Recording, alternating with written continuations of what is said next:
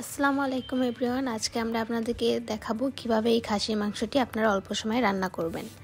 তো প্রথমে আমরা দুই কেজি মতো খাসির মাংস নিয়ে নিয়েছি। আপনারা আপনাদের পরিমাণ মতো নিয়ে নেবেন। এবার আমরা তেল দিয়ে দিচ্ছি।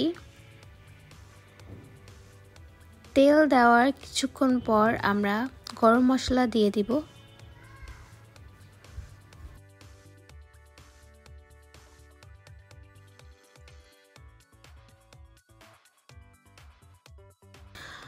গরম মশলাগুলো ভালোভাবে নেড়ে চেড়ে নিব।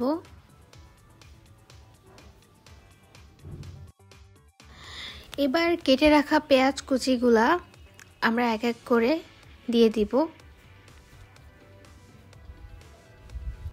আপনারাও ঠিক এভাবেই করবেন। পেঁয়াজগুলি ভেজে নেওয়ার পরে আমরা এর মধ্যে দিয়ে দিচ্ছি রসুন বাটা। আর তারপর দিয়ে দিচ্ছি আদা বাটা। তারপর এটাকে ভালোভাবে মিক্সড করে নিব।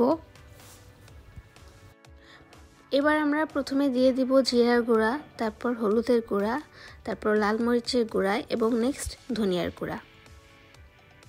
এক এক করে আমরা সব উপকরণগুলা ভালোভাবে মিক্সড করে নিব। এবার আমরা মশলাটা কষানোর জন্য অল্প পরিমাণে পানি দিয়ে নিব। এবার আমাদের রাখা মাংসর টুকরাগুলো আমরা এক এক করে দিয়ে দিব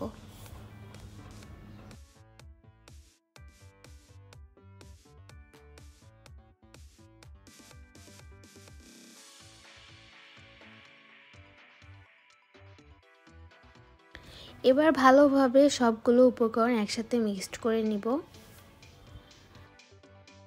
এবার পরিমাণ মতো লবণ দিয়ে নিচ্ছি। এবার কেটে রাখা শুকনা মরিচগুলা দিয়ে দিচ্ছি। এটার জন্য একটা আলাদা ফ্লেভার আসবে আমাদের মাংসের মধ্যে।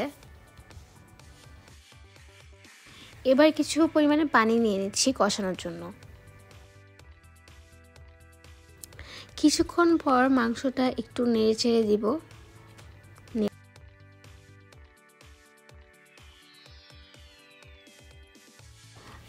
আমাদের বাসাতে সবাই আসলে মাংসের মধ্যে আলুটা খেতে অনেক পছন্দ করে, তো এই জন্য কিছু আলু কেটে রেখেছিলাম।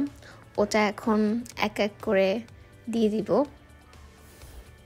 এই যে আপনারা দেখতে পাচ্ছেন, আমি আলুগুলা দিয়ে নিয়েছি।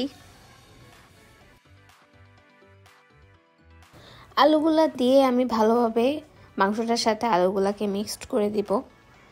কিছুক্ষণ রাখব, দেন ওটাকে আবার একটু নাড়াচাড়া করে দিব। আমার মাংসটা অলমোস্ট হয়ে এসেছে। অনেক সুন্দর একটা স্মেল আসছে এখনই।